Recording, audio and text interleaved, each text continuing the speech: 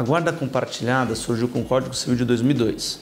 Antes, tínhamos a experiência somente da guarda unilateral, e ela era extremamente ligada à culpa de um dos cônjuges no fim do relacionamento.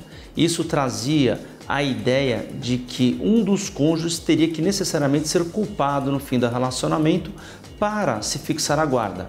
Essa ideia foi modificando, fomos trazendo novos conceitos para o direito de família e hoje a guarda compartilhada traz no seu âmago a ideia de uma composição igualitária na criação dos filhos. Sempre que possível, mesmo com o fim do relacionamento, é importante que o casal entenda a função de pai e de mãe, respeite o espaço de cada um e que o ruído de comunicação seja o menor possível em benefício da criança, para que a guarda compartilhada possa representar de fato e de direito o melhor interesse do menor.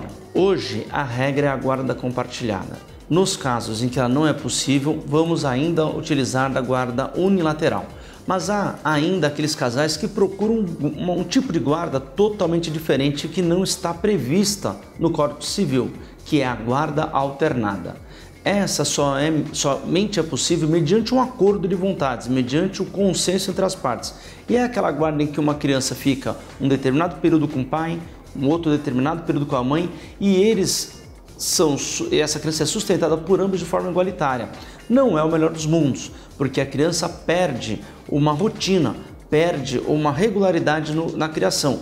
Mas foi uma realidade em Portugal, na França, inclusive dentro da legislação portuguesa e francesa, e que existe no mundo afora. Logo no fim do relacionamento, quando o casal decide realmente divorciar, é um momento adequado para se fixar a guarda. Quando há um consenso, muito bem, as partes conversam, as partes dialogam e elas estabelecem o melhor para a criança. Mas quando não há consenso, essa guarda ela tem que ser fixada no início do processo, liminarmente muitas vezes, para que aquele guardião possa representar os melhores interesses do menor logo no início do final do relacionamento.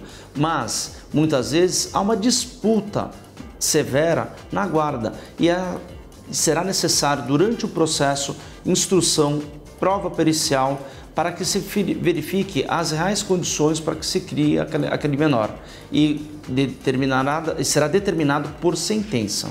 Olha, nos estudos sociais já é possível verificar qual é a vontade do menor, além de representar o melhor interesse para ele, qual é a vontade dele.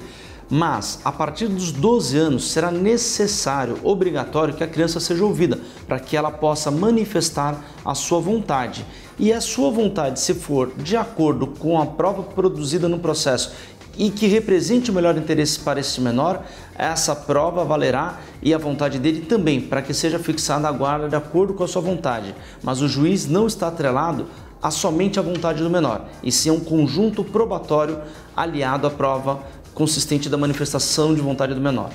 É muito importante que as partes tenham em mente que o fim do relacionamento não é o fim da parentalidade, que mesmo após o final do casamento ou do relacionamento, existe a obrigação da criação dos filhos em comum.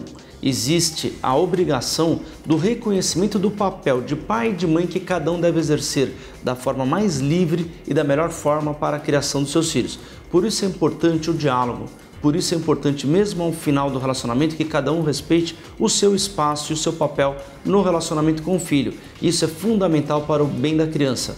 E todos os advogados já estão habituados à mediação, à conciliação e informarão os clientes dos, dos seus direitos, respeitando o espaço de cada qual no seu papel, no final, mesmo após o final do relacionamento. Inclusive a OAB proporciona, através da oficina de pais e filhos, uma verdadeira interação em que cada um aprende o papel ou relembra do papel que deve exercer na criação do filho, seja como pai, como mãe, como filho, e eles interagem de uma maneira muito salutar, criando as novas fórmulas de diálogo que vão surgir mesmo após o final do relacionamento. É extremamente importante que o ruído de comunicação cesse o quanto antes em prol dos filhos em prol da família.